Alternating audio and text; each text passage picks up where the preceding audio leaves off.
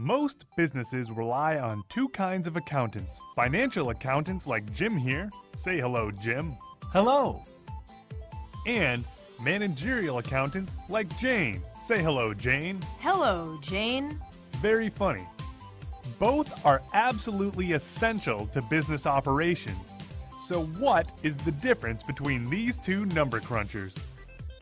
As a financial accountant, I keep track of the company's financial records and produce documents like balance sheets and income statements.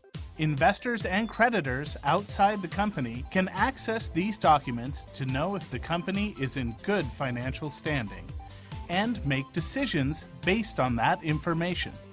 As a managerial accountant, Jane also uses the information in these documents. I'll take Jim's data and do my own calculations and produce different documents for the company's managers. Even though a manager would want to know if the company's revenue is down, my job is to make sure the manager knows why. You see, Jane can break down the company's spending by department, product, or process and tell the manager exactly how much it costs produce the company's product or service.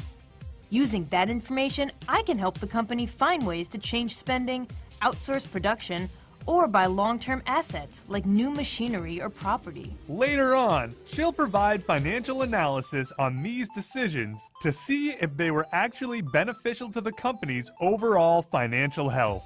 Managerial accounting is about taking a company's financial information and turning it into something useful for managers and decision makers. In this course, you're going to assess real companies through case studies and in depth research. By the end of this graduate level course, you'll be able to use accounting for planning, control, and feedback, evaluate how business trends impact accounting practices, compare different methods of assessing capital investments, and more.